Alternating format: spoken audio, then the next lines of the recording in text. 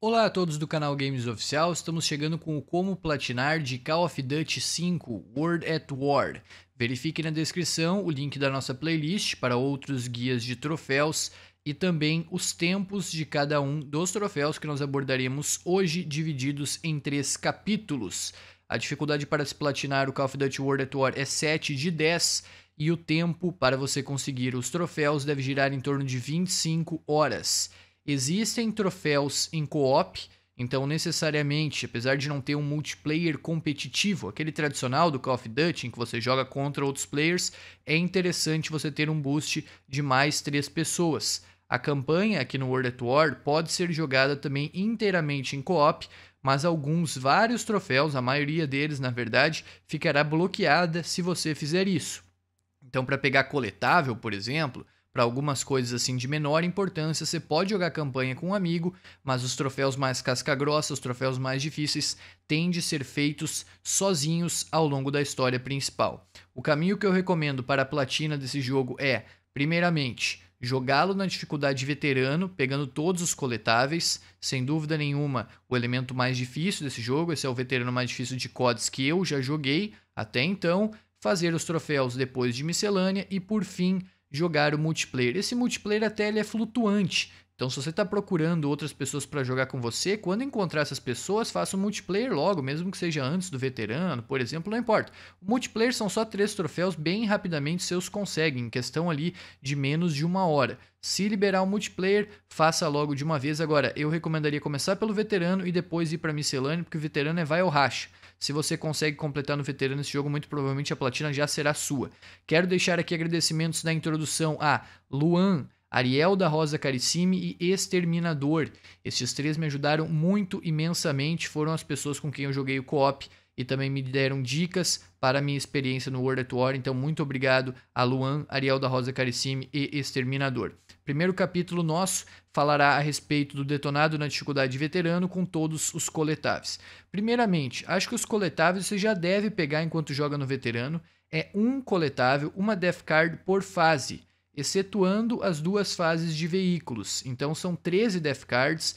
E cara, em alguns Call of Duty com veterano mais complicado, eu não recomendo somar o veterano com os coletáveis porque você já tem coisa demais para se preocupar. O World at War não é hipocrisia dizer, ele é um dos veteranos mais difíceis. Porém, pegar os coletáveis aqui não terá essa carga, não terá esse peso na sua experiência, eu garanto, porque os coletáveis estão no seu caminho. Então, conforme você joga, no, no máximo, assim, o que você vai ter que fazer é entrar numa sala ao lado, desviar um pouquinho para o lado, mas não é algo absurdo não te faz enfrentar, por exemplo, mais inimigos do que faria enquanto você joga o veterano pura e simplesmente. Com relação à dificuldade, o que nós podemos dizer aqui em linhas gerais? Existem sim algumas fases que farão você jogar o mesmo checkpoint por várias e várias vezes, vão envolver muitas mortes.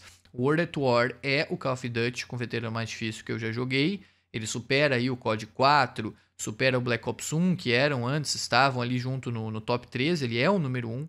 Porém, se você tiver muita persistência, se você realmente não desistir, ficar encarando ali o checkpoint por uma meia hora, coisa do tipo, e óbvio, tentar estratégias diferentes, ver o que está dando certo e o que não está dando certo, você conseguirá. Aqui no canal nós publicamos um long play, o jogo inteiro em um único vídeo do World at War jogado na dificuldade veterano com as 13 Death Cards. E eu vou deixar ele linkado na descrição aqui do como platinar.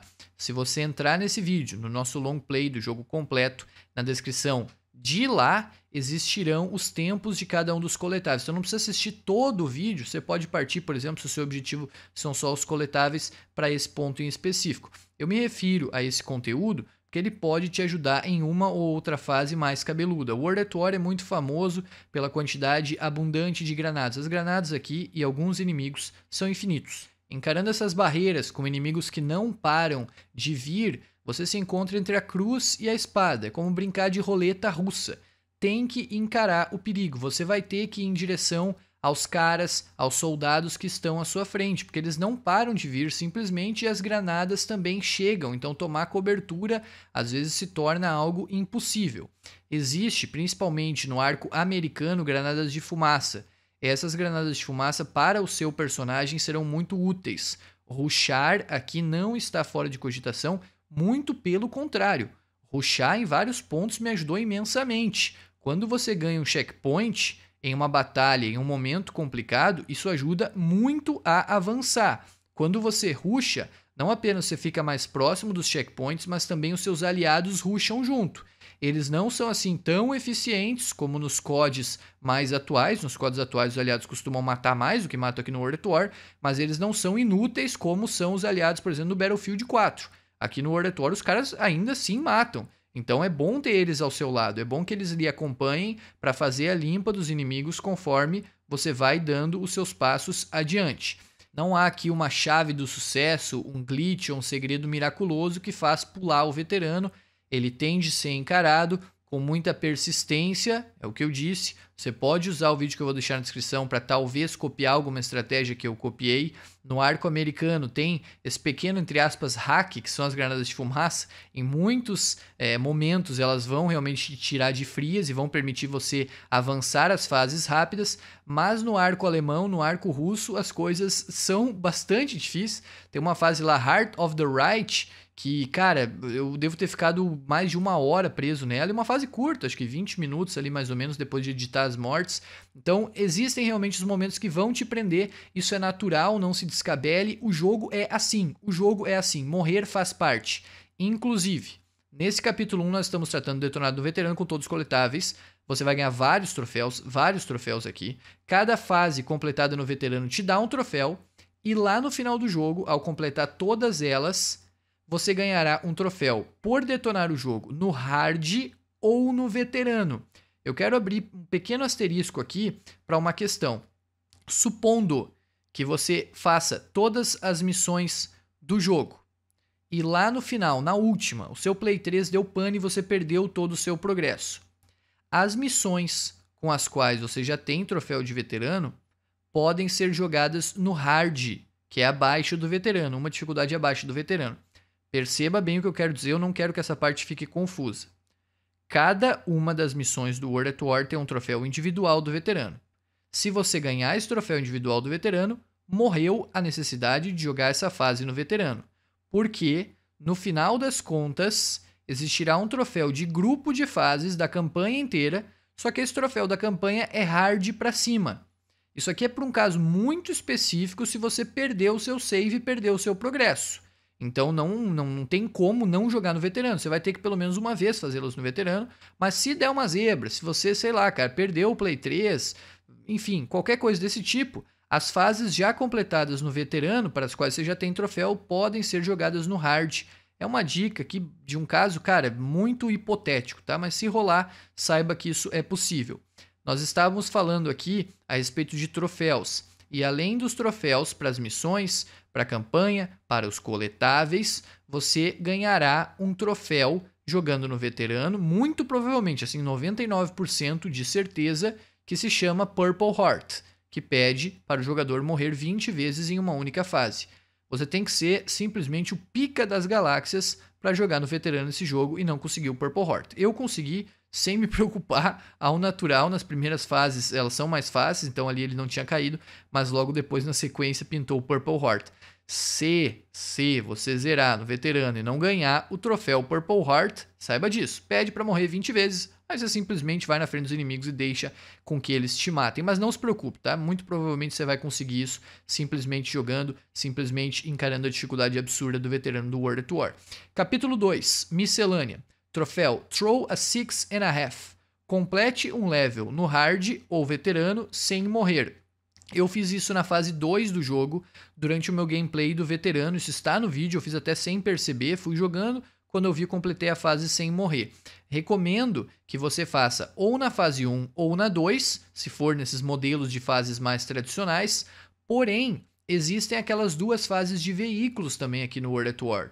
Blood and Iron e Black Cats. Elas não são necessariamente assim fases fáceis, mas elas são mais fáceis do que as fases tradicionais de tiro, que são as duas primeiras. Vá naquilo que, com que você se adaptar melhor, né? A Semperfi é mais fácil do que a segunda, que foi onde eu fiz, mas na Semperfi eu acabei morrendo. Semperfi é a primeira do jogo, né?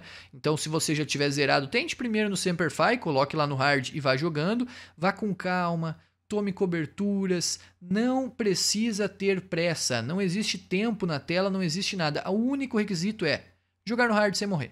É isso, do início ao fim sem morrer.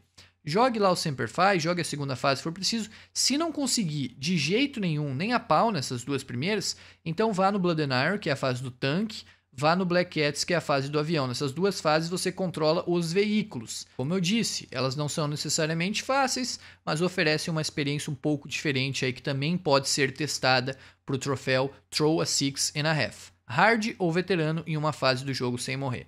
Troféu Kamikaze Complete uma fase na dificuldade regular ou maior usando apenas facas ou granadas. Eu fiz na primeira fase Semper Fi, apenas com facas e granadas. Você não pode atirar nunca. Então, assim, cara, tire a mão do botão de atirar. Se atirar sem querer, já era. O jogo não quer saber. Foi por querer, foi sem querer, você perde o troféu. Então tem que recomeçar a fase de novo. Com facas, com granadas, tá tudo liberado. Você pode morrer também quantas vezes quiser. Não é feio morrer aqui rush, corra, diferentemente do troféu anterior, cara, vá para cima, vá para cima dos caras na cara e na coragem. Se você pega um checkpoint, você já está um passo mais próximo do fim da fase, era o que eu estava fazendo. Eu estava rushando no meio do tiroteio, às vezes te ajuda a se agachar, né, rolar no chão assim, ficar por trás de cobertura para recuperar a vida, por exemplo. Como você vai estar nas dificuldades iniciais, ele pede para você jogar no mínimo no regular, não tem por que jogar em dificuldade maior do que regular, apesar do troféu permitir, né?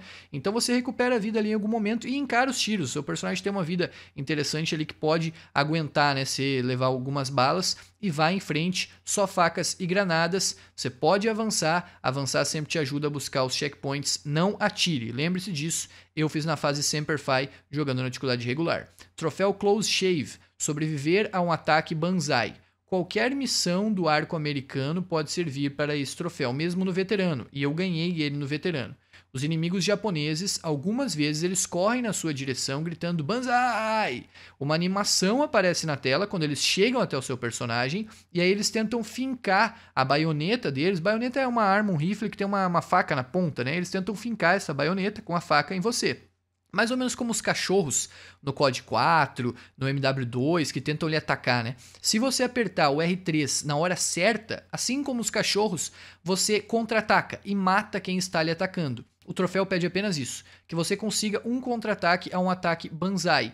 Você aperta, e, e, até eu acho mais fáceis do que os cachorros, tá? O, a janela para apertar o R3 aqui ela me parece um pouco maior do que era lá no COD 4 no MW2. Quando você matar o inimigo fazendo esse contra-ataque utilizando o R3, você ganha o troféu. Eu consegui fazer sem me preocupar com ele. É, não é algo que muda se você jogar no veterano ou não, então dane-se, vá jogando, vá tentando fazer. Tem que se esforçar muito para zerar o World at War uma vez e não pintar esse troféu Close Shave, porque é um contra-ataque só dentre tantos ataques que vão rolar nesse arco americano. Troféu Snake in the Grass matar um soldado japonês se escondendo na grama. É um troféu que pode ser feito também em praticamente todas as missões americanas. Ele não é tão claro, ele não está tão assim na sua frente, é, na sua cara, como o troféu Close Shave do ataque Banzai. Os soldados japoneses na grama eles estão se camuflando, então essa visão fica mais complicada. Eu fiz sem perceber, sem tentar, enquanto jogava naturalmente no veterano. Na descrição eu vou deixar o link de um vídeo na missão Little Resistance, que é a segunda missão, bem no início dela, para você fazer isso mais tranquilamente, se você já tiver zerado e ainda não tiver conseguido. De início, assim, de prima, eu diria, jogue normalmente, aí lá no final, tendo zerado a campanha, se não conseguir, recorra ao vídeo que a gente vai deixar ali. Esses soldados que estão na grama, eles buscam né, se levantar quando você passa perto e dá um ataque banzai.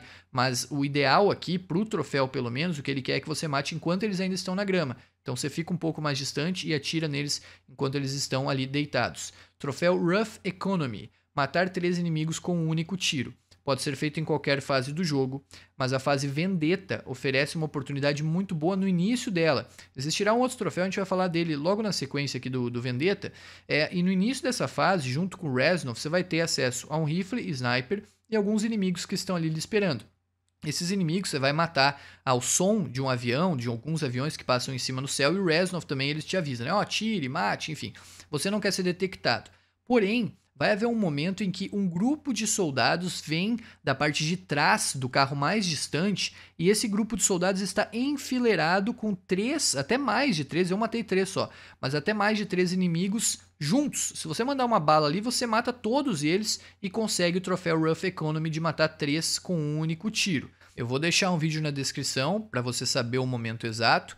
Isso muito provavelmente vai fazer com que você seja detectado e fale o objetivo da missão, quando eu fiz esse troféu, eu estava repetindo a fase Vendetta no Easy, então era depois de eu já ter zerado. Se você quiser fazer no veterano, falhando ali o objetivo e depois seguindo, isso é um pouco irrelevante, assim, a questão da dificuldade não muda muito, aqueles inimigos podem ser mortos de qualquer maneira, mas também é um troféu que você pode conseguir, cara, sei lá, até na primeira, segunda fase, se a circunstância se apresentar ao natural, por vezes, da maneira como você estiver posicionado, alguns inimigos estão ali alinhados e uma bala vai matar três ou mais de uma única vez. Porém, no Vendetta é onde eu achei isso mais fácil e onde eu recomendo que você tente se estiver buscando o troféu.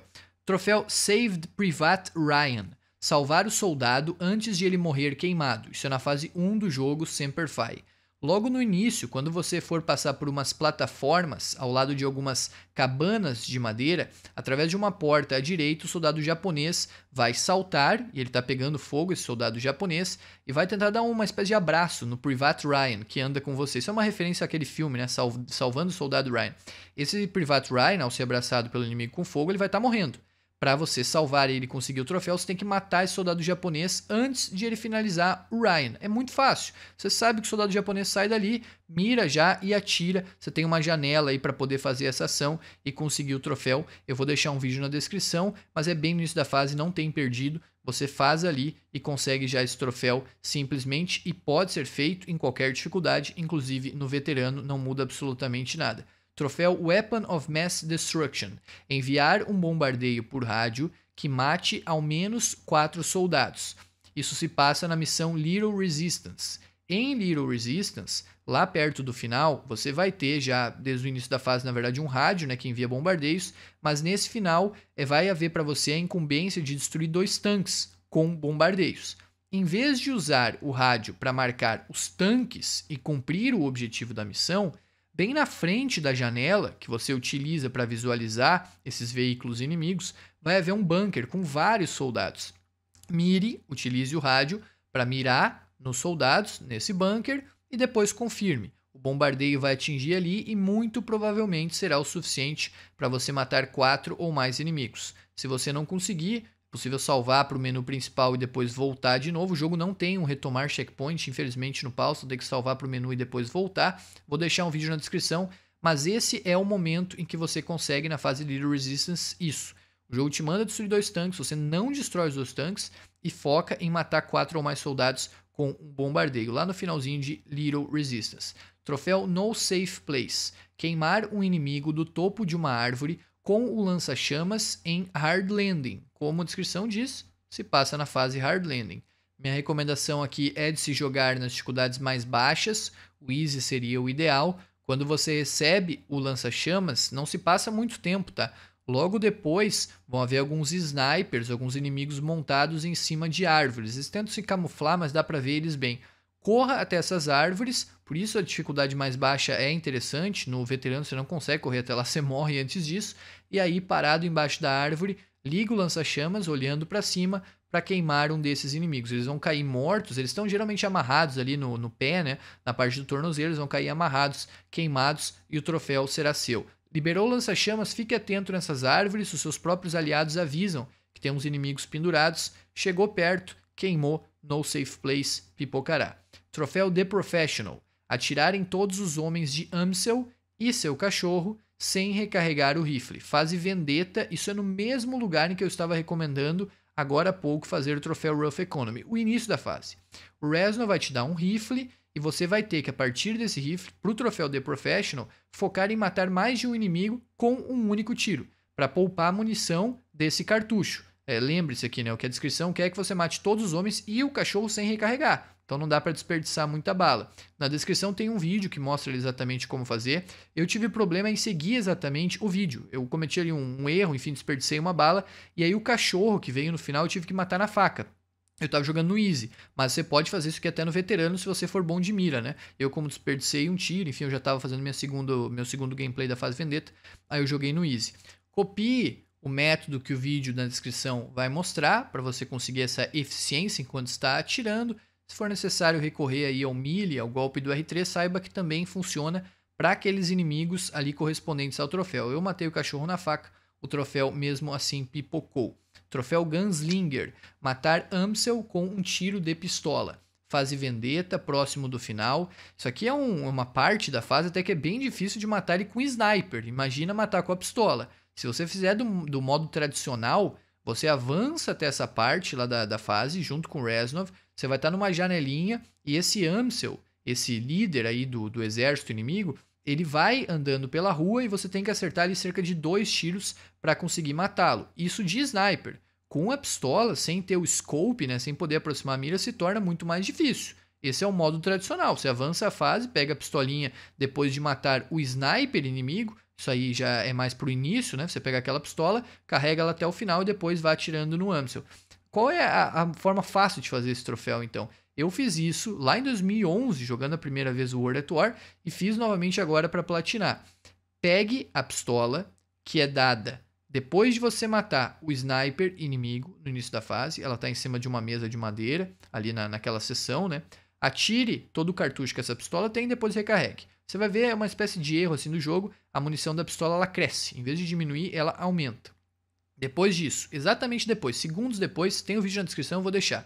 Há um glitch pelo qual você pula para fora do prédio e, por meio de um erro do jogo, cai na parte em que o Amsel deve aparecer. Então, em vez de matar ele com a pistola lá de cima do prédio onde estaria você, enquanto sniper, para mirar nele, você estará na frente do Amsel. Você dá, vai dar os tiros a queima-roupa. Não tem como errar. Simplesmente não tem como errar os tiros de pistola.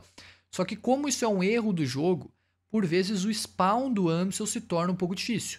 O que vai ser complicado aqui não vai ser acertar os tiros, mas vai ser fazer o Amsel aparecer.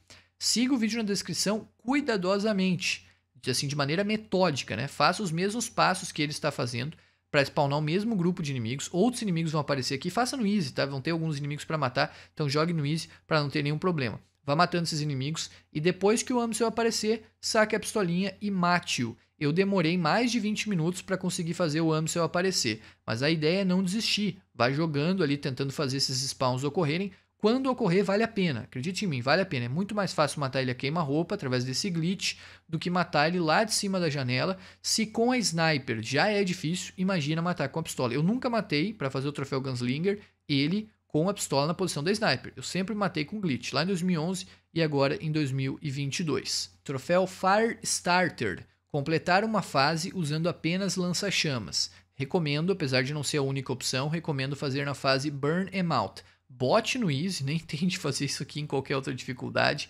Facas, granadas e explosivos podem ser utilizados. Quando você jogar no easy, a mesma dica a gente deu hoje mais cedo para aquele troféu kamikaze. Saia correndo. Saia correndo, queime quem tem que queimar, tente matar, mas a ideia é ruxar, buscar checkpoint. Você pode morrer, afinal de contas, quantas vezes forem precisas. Apenas não use armas que não sejam lança-chamas, granadas e explosivos. Facas também, não sei se faca considera uma arma, né? talvez uma arma branca aí. Não usando elas, completando a fase, você ganha esse troféu. Não utilize armas, pode morrer, corra, rush e jogue no easy. Fase Burn Em Out é a minha recomendação. Troféu Iron Fist. Destruir todas as torres e bunkers em Blood and Iron. Fase, por óbvio, The é Blood and Iron. As torres e bunkers estão espalhados por todo esse level. Eu fiz no Easy, repetindo uma segunda vez e segui um vídeo. Eu vou deixar o vídeo que eu utilizei na descrição. A etapa mais fácil de se perder quando você estiver destruindo as torres e os bunkers é em uma torre, uma caixa d'água vermelha que está fora do seu campo de visão, no meio de uma fumaça, aproximadamente no, na metade da fase. Né? De resto, todas elas são bem visíveis se você explorar bem. Ainda assim, a minha recomendação é seguir esse vídeo atirar atentamente nos pontos em que esse vídeo vai atirar, jogar com calma. Como eu disse, eu fiz no easy porque fica mais fácil. Os inimigos que são outros tanques ou aqueles inimigos humanos com lança-chamas, com RPGs, eles não vão ser um desafio para você, você consegue matar eles facilmente. Então a única preocupação realmente vão ser as torres e os bunkers jogando no easy e cuidando o vídeo, o Iron Fist não deve ser difícil de ser conseguido. Troféu Ruthless. Matar 15 inimigos enquanto estiver montado no tanque em Ring of Steel. Isso é na parte final, finalíssima, assim, extremamente no final de Ring of Steel. A minha recomendação é diminuir a sensibilidade primeiro do controle. Essa arma montada aí do tanque, cara, é uma piada. Ela é muito ruim, ela é muito ruim. Você atira no ponto A, o tiro vai no ponto B, assim, ela é muito inconstante, sabe? Ela treme muito, por isso diminuir a sensibilidade pode ajudar. O problema que vai surgir aqui, além dessa tremedeira da arma, é que no momento que você sobe no tanque para fazer o uso, para conseguir esse troféu, se você não matar os 15 inimigos, a fase termina.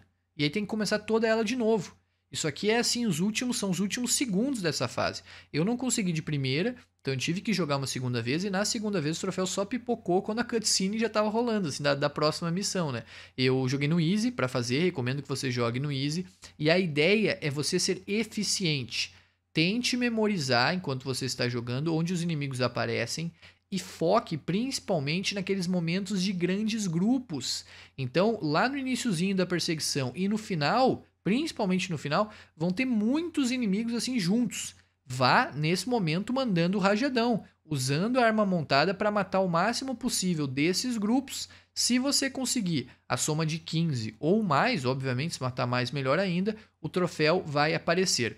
Problema, novamente, é o fato dessa arma ser muito instável, diminua a sensibilidade, e o fato de, se você não conseguir esse troféu ali de cara, ter que jogar toda a fase de novo. Concentração e paciência, cara. Concentração e paciência. Jogar a fase não é um prazer, é chato ficar repetindo, mas é, faz parte, né? Você vai ter que conseguir esse troféu uma hora ou outra. Tente memorizar também onde os inimigos aparecem, porque isso vai te ajudar já ter uma noção básica ali de onde você deve ficar mirando para atirar. Troféu Shot in the Dark. Matar 10 inimigos enquanto as luzes estão apagadas no metrô, na fase Eviction. Isso é mais para o final também da fase Eviction, quando você e seus aliados entram dentro do metrô. As luzes do metrô elas seguem um padrão. Elas ficam acesas por um tempo e apagadas por outro tempo. Esse ritmo das luzes ele pode facilmente ser observado se você olhar para essas luzes ou então acompanhar as falas do Reznov que anda com você. Ele geralmente diz: "Ó, oh, as luzes se apagaram, mate os inimigos". Eu joguei no Easy, eu estava repetindo essa fase depois. A ideia aqui é aquela brincadeira de criança, vivo ou morto, morto vivo, sabe? Se as luzes estão apagadas, levanta e sai matando todo mundo. Se as luzes estão acesas, fica na cobertura esperando com que elas apaguem novamente. Foi assim que eu joguei. Eu ia numa cobertura próxima dos inimigos, se a luz estava acesa, não fazia nada. Se ela estava apagada, levantava e tentava matar uma quantia maior. Os inimigos eles cumulam ao longo de uma tentativa de fase. Não precisa matar 10 em um único apagão da luz, não é isso. Enquanto você está jogando ali a fase, os inimigos vão se somando, esses mortos com as luzes apagadas. Porém, se você estiver rebobinando, rejogando a fase uma segunda vez, tudo que você fez da primeira foi perdido, né? Então você tem que matar esses 10 inimigos até o final da fase Eviction. Porém, isso pode ser em vários usos dessas luzes apagadas. Aproveite e tente ser eficiente nos momentos chave em que o metrô ficar escuro. Troféu Lights Out. Atirar em todos os holofotes no navio japonês. Isso se passa na fase Black Cats, é uma fase de veículo, uma fase em que você controla um avião. Existem três navios grandes no início da missão e você deve atirar nos holofotes que existem na extremidade dianteira, na frente, e na extremidade traseira, a parte de trás de cada um deles. Conte comigo, são dois holofotes para cada um dos três navios, seis holofotes no total. Eu vou deixar um vídeo na descrição por descargo de consciência, apenas para ilustrar isso que eu estou falando, né? Quais são os momentos em que você deve cuidar para atirar nos holofotes dos navios. Mas até não é necessário, assim, essa questão do vídeo é um troféu simples. No início da missão você passa por cima dos navios, depois você passa de lado com o avião, focando na parte da frente e na parte de trás e destruindo os seis holofotes. O Lights Out vai aparecer para você. Troféu Sum of All Zeros também se passa na fase Black Cats e é o troféu de miscelânea mais difícil aqui do World at War. Você precisa derrubar 45 Zeros japoneses. Zeros japoneses são aviões que há nessa missão. O que me ajudou muito aqui, eu não consegui de primeira, até perdi um bom tempo, talvez mais de meia hora. Primeiro, diminuir a sensibilidade, de novo, coloquei a sensibilidade para low, sensibilidade baixa. Memorizar os locais de spawn dos aviões zero. Muito mais importante até memorizar aqui do que lá no Ring of Steel Porque lá matar 15 inimigos é infinitamente mais simples do que matar os 45. 45 é um número bem elevado de aviões. Quando você memoriza, diminui a sensibilidade. A última dica aqui que é a chave, assim, a virada de chave para consegui-lo. Jogue cada checkpoint de uma vez. O que eu quero dizer com isso? Trace uma meta de aviões que você quer destruir no checkpoint A, no B, no C, no D. Não conseguiu a sua meta no checkpoint A, antes de avançar para o checkpoint B. Preste atenção, antes de avançar para o checkpoint B. Clique no pause, vai sair para o menu principal, salvar e sair, e depois acesse de novo a missão. Como o World at War não tem restaurar checkpoint, alguns códigos que vêm depois, alguns títulos futuros têm essa opção né, de voltar a checkpoint. Como aqui não tem, você tem que sair para o menu e voltar. Isso é mais rápido do que você completar toda a fase, não conseguir o troféu Sum of All Zeros e ter que jogar toda a fase de novo. Então, jogou um checkpoint, não está legal o seu desempenho para esses 45, sai para o menu e entre novamente. Como saber o que é uma boa média de aviões destruídos por checkpoint? Aí entra o elemento que me ajudou imensamente também, o vídeo. Vídeo eu deixarei na descrição, um vídeo de guia que mostra a quantidade mínima que cada checkpoint irá exigir. É óbvio, o desempenho de cada jogador é diferente, então você pode talvez matar, destruir, né, melhor dizendo, um avião a menos do que o vídeo destruiu no checkpoint A e destruir dois a mais no checkpoint B. Mas não importa, o vídeo é apenas uma referência. Ele vai te servir assim como um quadro que você vai observar para tentar copiar, para ter uma noção do que fazer. Eu abri esse vídeo e não saía do primeiro checkpoint se eu não tinha conseguido matar o número de aviões que o vídeo matou. No final das contas, eu acho que eu destruí mais até do que 45, foram uns 46, 47. Ele te instrui e te dá essa direção. Ele é um bom direcionamento para conseguir os 45 aviões. Não avance a missão, não avance checkpoint sem conseguir essa média, porque vai fazer falta lá no final e isso vai ser perda de tempo. Se quiser jogar a fase infinitas vezes, até conseguir o Sum of All Zeros, pode, mas esse é o método mais simples e mais rápido. Vou deixar o vídeo na descrição, diminua a sensibilidade, memorize onde ocorrem os spawns e permaneça dentro da média de mortes por checkpoint. Troféu Mortar Doom. Matar 8 japoneses com morteiros na fase Breaking Point. Na fase Breaking Point vão haver uns momentos em que você pode pegar e deve pegar para avançar na própria fase alguns morteiros com a mão. É umas bombinhas assim que o seu personagem atira e elas, ao atingirem né, uma superfície, vão explodir. Esses morteiros, o alvo deles, são umas bases inimigas que há no chão. Você tem que atirar dentro dessas bases. Em vez de focar nas bases inimigas, você atira diretamente nos inimigos. Eu fiz esse troféu sem perceber enquanto jogava no veterano. Fase Breakpoint, não tem como errar. O jogo te manda pegar esses itens com a mão, e aí você vai estar tá pegando ali com a mão. Isso chama atenção, né? Porque o seu personagem guarda a arma e pega essas bombinhas. Quando tiver com a bombinha na mão, elas são infinitas dentro das caixas que estão nas suas proximidades. Atira nos inimigos, pega mais uma. Atira nos inimigos, pega mais uma. Vá repetindo até o troféu pipocar. São oito inimigos cumulativos ao longo da fase. Não precisam ser oito com um único uso de morteiro. Se você matar um inimigo com oito morteiros, já vale. 8 vezes 1, 8 é o necessário para o troféu.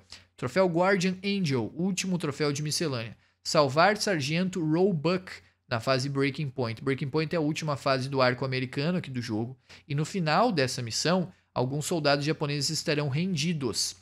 Você se aproxima deles, começa uma espécie de animação. É, você não pode usar suas armas, você simplesmente fica assistindo ali o que está rolando.